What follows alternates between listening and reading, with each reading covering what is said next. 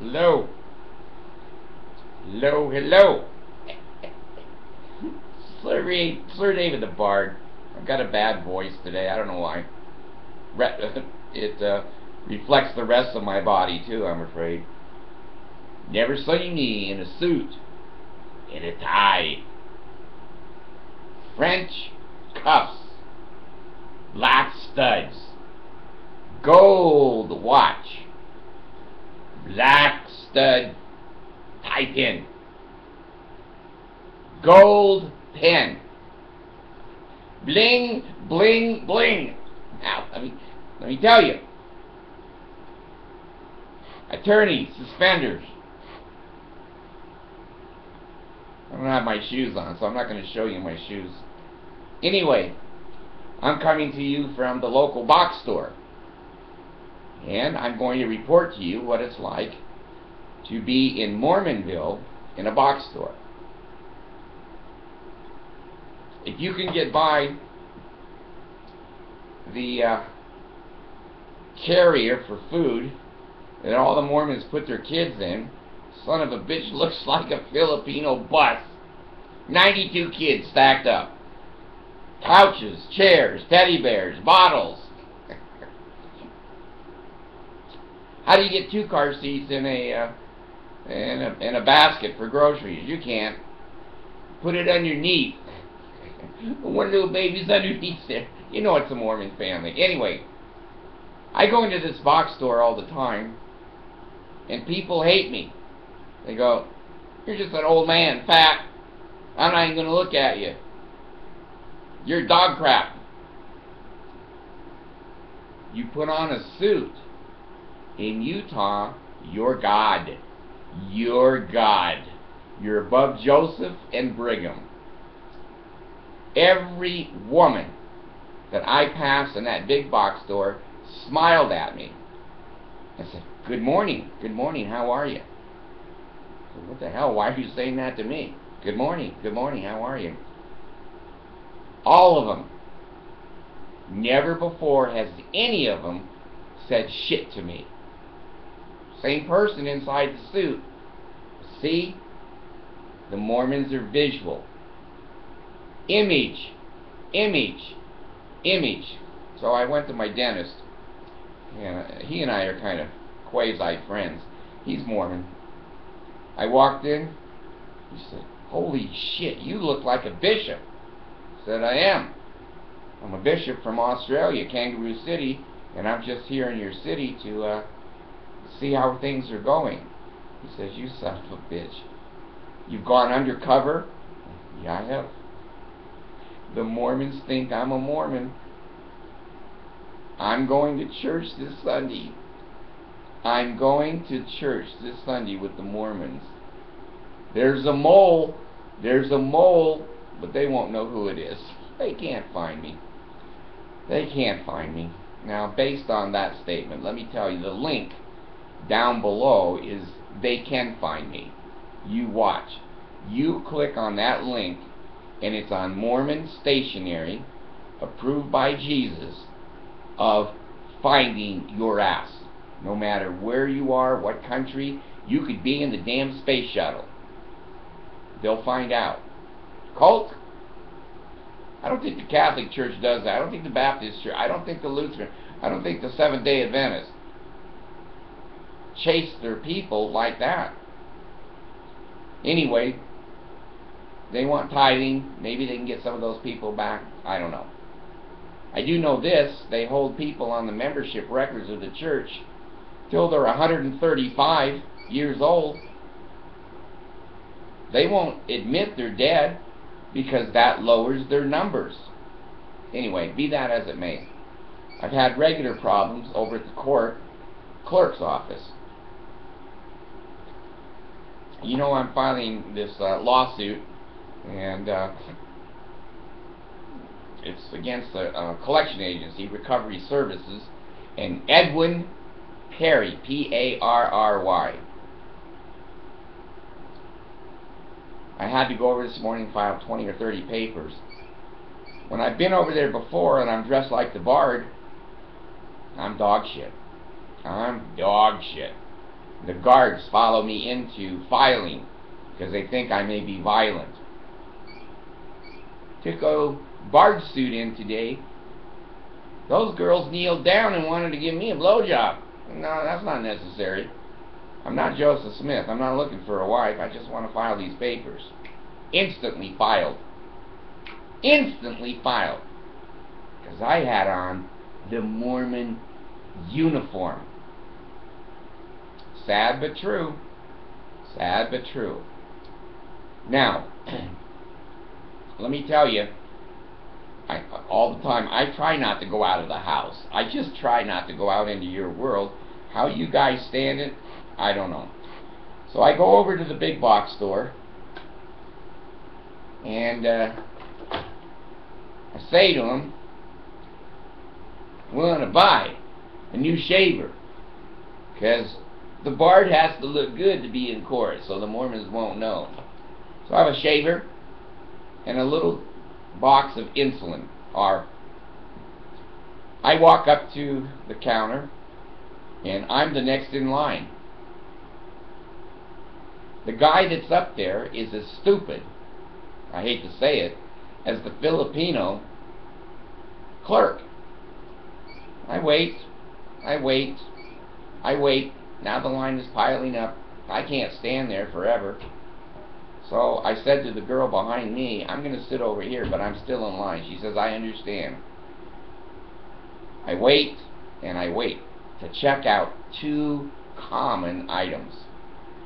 Finally, you know the bard, after 10 or 15 minutes, my courteousness decreases. So I walk over to the counter and I yell, These people have a problem. I'm just trying to check out two things.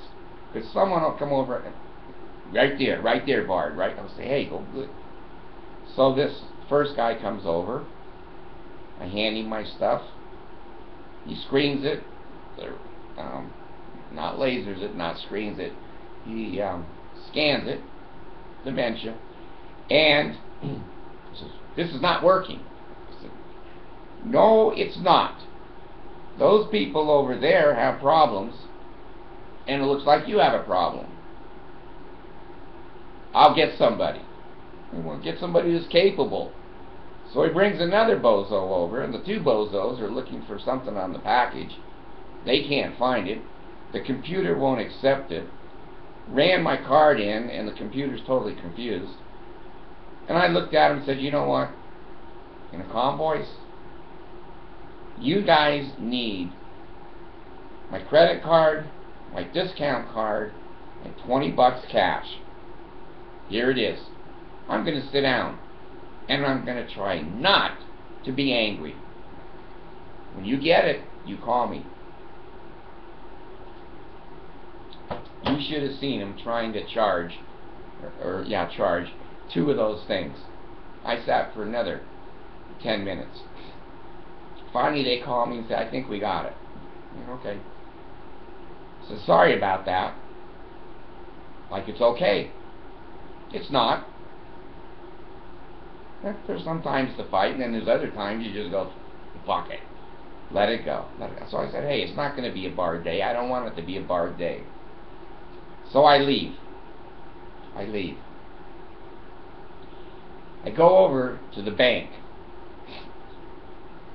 supposed to be doing something for Mercy. So, you know that drive-up tube and the little plastic thing inside.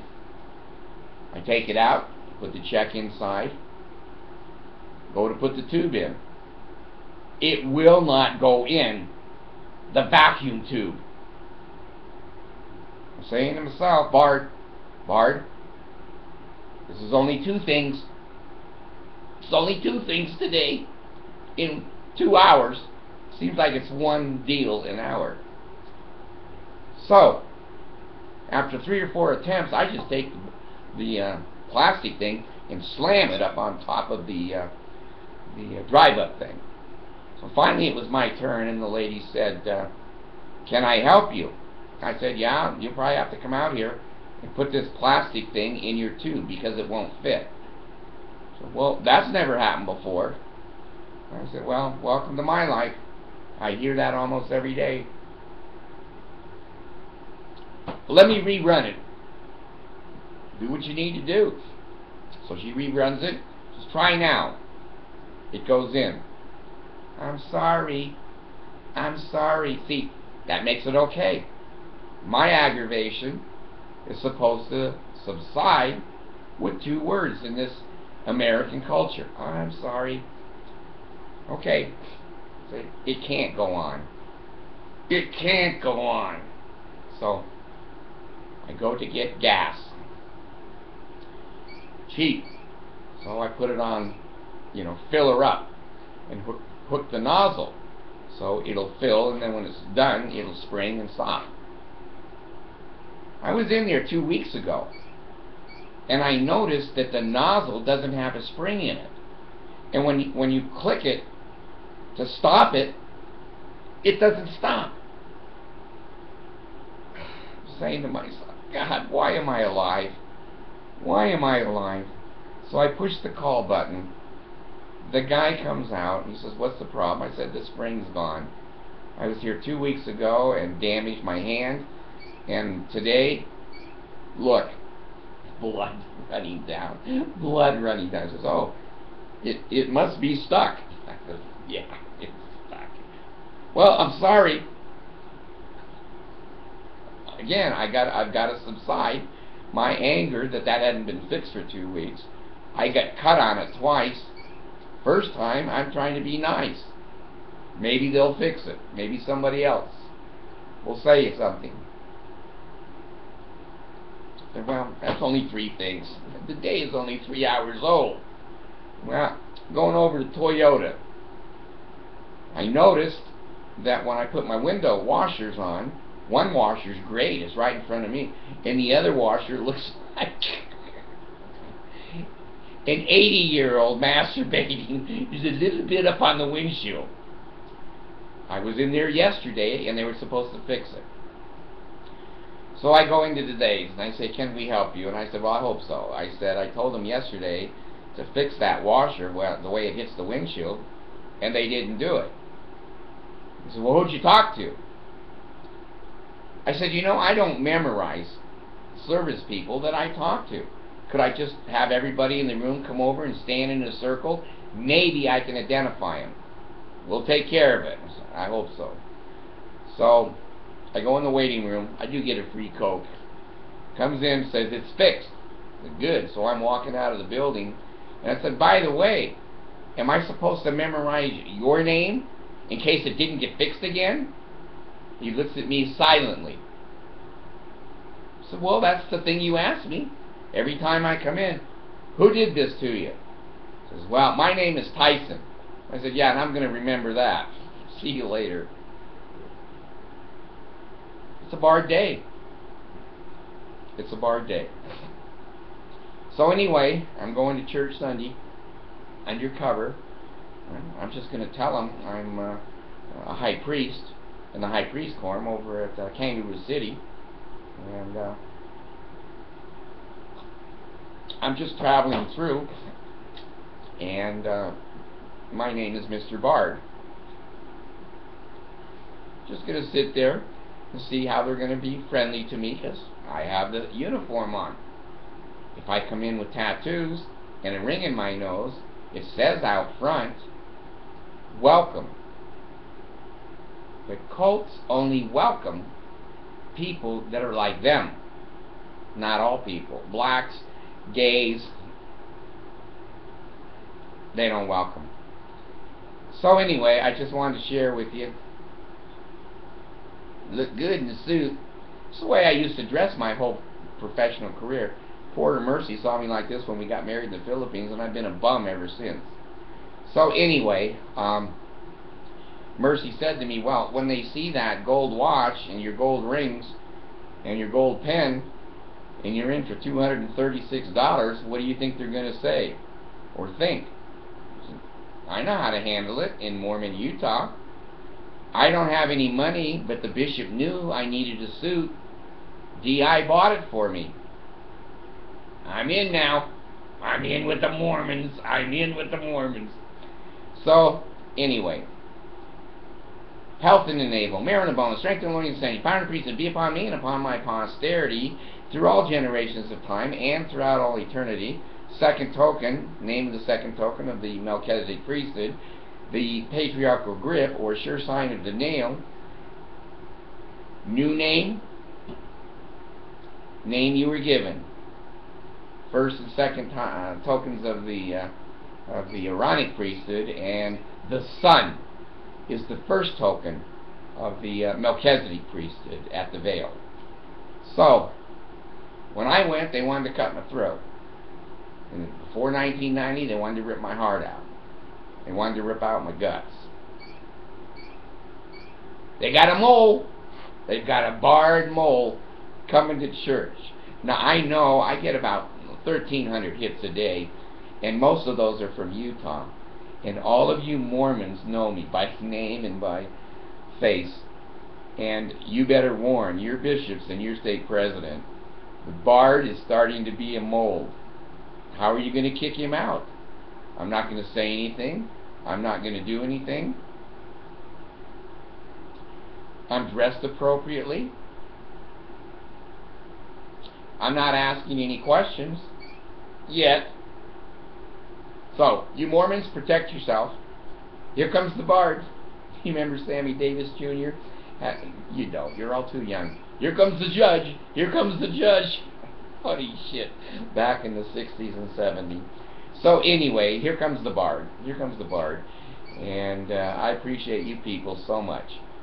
If you people weren't watching and you people did not turn that over a million hits, they would fry me in Utah. They don't touch me. It's too many of you. Too many of you. And your uh, viewership protects me. And so now that I got the suit, I'm going to go back to church and see if I can get me a few more 14 year olds. Must be true. Must be true. Anyway, my dentist, when I ask him, Have you read the essays? He says, No. I don't want to know. I said, That's the way Mormons are. That's the way Mormons are. If you hit them with a fact, they're going to turn their back and look the other way and say, I never saw the fact. They're brainwashed. They're in a cult. So, blue tie, BYU, pinstripe suit, businessman. I couldn't get any cross pins. A gold cross. I used to carry uh, two gold cross pins and they weren't uh, 12 karat, they were 14 karat gold. And one was a marker, one was a pen. I couldn't get that today. I couldn't find it anywhere in Utah. So I'll look back in Kangaroo City. So, black shoes, nice, polished. Tailored suit. Did a good job. Extra suit. French shirt. Kick the Mormons in the ass. Kick him in the ass. His bar's gone.